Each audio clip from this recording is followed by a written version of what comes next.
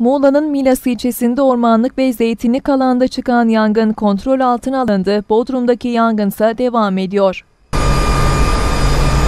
Milas'ta Kıyı Kışlacık Mahallesi Gürçamlar mevkisindeki ormanlık ve zeytinlik alandaki yangında bölgeye iki uçak, iki helikopterle çok sayıda arazöz ve itfaiye ekibi sevk edildi. Havadan ve karadan yapılan yoğun müdahale sonucu kontrol altına alınan yangında yaklaşık 3 hektar ormanlık ve zeytinlik alan zarar gördü.